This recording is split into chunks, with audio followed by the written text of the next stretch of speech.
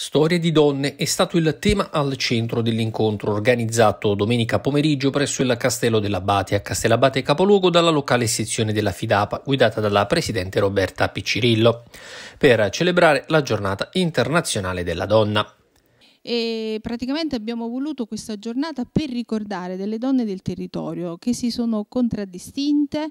Diamo valore alle donne, le vogliamo valorizzare perché stanno nell'arte della musica, della pittura, nel commercio, eh, ci sono donne medici, ci sono gli avvocati, ci sono donne che per anni hanno alzato le sarcinische di questo territorio, tra cui sta che eh, per noi è un simbolo proprio del nostro territorio. Nel corso della cerimonia sono stati consegnati riconoscimenti a donne impegnate nel sociale, nel commercio, nella sicurezza, nella cultura e nello spettacolo.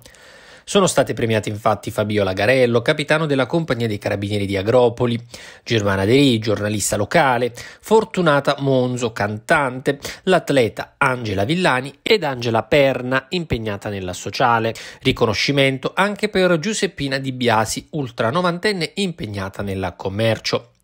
All'evento, patrocinato dal comune di Castellabate e moderato dalla responsabile promozioni turistiche e culturali di Castellabate Enrico Nicoletta, ha preso parte anche il primo cittadino del paese di Benvenuti al Sud, Marco Rizzo. Senza la donna oggi la nostra comunità non sarebbe nulla, quindi la donna deve essere eh, valorizzata per quello che effettivamente vale, quello che effettivamente vale nel mondo della professione, nel mondo del sociale. Quindi noi siamo, siamo su queste cose, siamo sempre pronti insomma, a dare il nostro contributo.